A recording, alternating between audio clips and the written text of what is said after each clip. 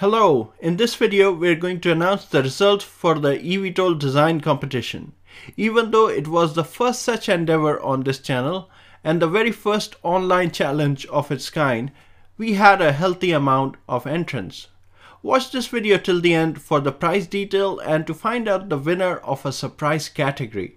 Overall, we had 14 entries. Some of them have gone out of the way in producing detailed 3D CAD renders of their aircraft. Firstly, a shout out to all those who have participated. Every aircraft was impressive in its own right. Avanish Gopigar presented the Supra.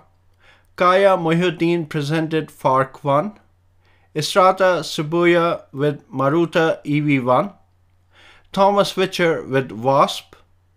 Alaya with Revlon 6X. Arjun S with Dart Hawk. David Sebastian Matamoros and Juan Sebastian Escobar jointly presented the Kimbaja Nitidissima MK53. Stepan Biryukov entered with the Navigator 2000. Jose Rivera shared the design for the Hopper. Dennis Arens with the wing disc. Carlos de la Torre with the Thresher.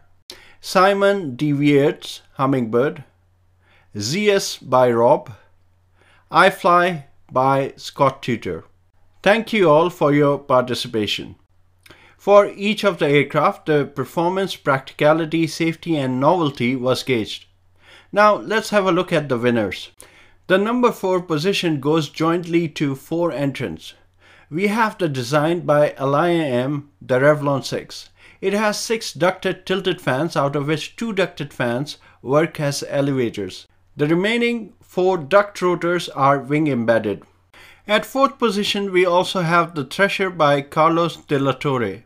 This design uses three pairs of coaxial rotors, two on the wingtip and one on the empennage.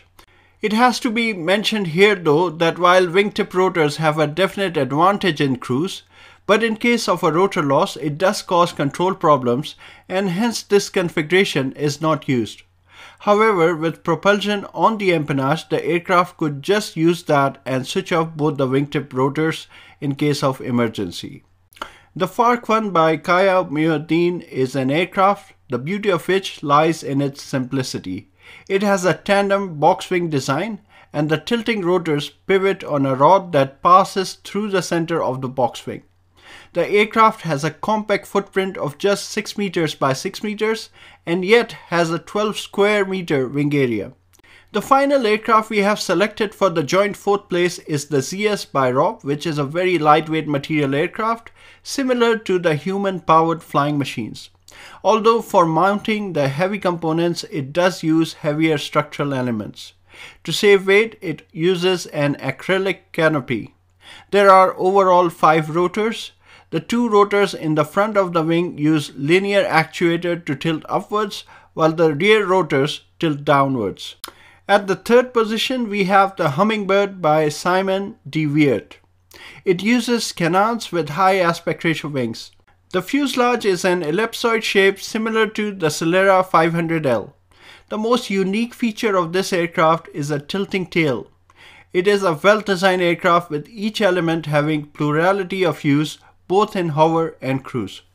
At number 2 we have the Kimbaja Nitidissima MK53 by Juan Sebastian Escobar and David Sebastian Matamoros. In their very elaborate and articulated drawings and video, we noticed 7 rotors. The aircraft has a twin tail with a boom that connects it to the main wing. There are 4 lifting rotors mounted on the boom there are three additional tilting rotors, two on the front of the boom and one at the rear. And finally, at number one, we have the Wasp by Thomas Wiwchar. It has got the sleekest aerodynamic design among all. It has a canard and a swept wing configuration. The wingtips are capped by end plate type winglets its footprint is also compact with a wingspan of 6.6 meters and a length of just 4 meters. The fuselage is also a lifting body with the rear propulsor providing boundary layer ingestion for enhanced aerodynamics. The surprise award we have this year is for innovation and out of the box thinking. This goes to Stephen Biryukov. He has come up with a brilliant tilting body single box wing design. The wing itself is a strength adding structural element, giving the aircraft an extremely compact footprint of just 3.6 meters by 5.4 meters. So there you go, those were the winners and they will be contacted with the same email address that was used for submitting their design. We did not announce it before but we have decided to award the fourth position holders a prize money of $50. Just to recap, the third place prize money was $100, the second place prize money was $200 and the first position will get $300. The award for most innovative aircraft is $100. We hope next year there will be greater participation. Those who couldn't win this year can try again and take heart from the fact that they have participated in the first ever competition of its kind. And with this, the video is concluded. Thank you for your attention.